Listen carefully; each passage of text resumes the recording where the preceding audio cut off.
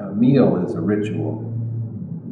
And they were, and there a time when they were really important rituals. And there's certain rituals that came became elevated to religion, you know, the Japanese tea ceremony.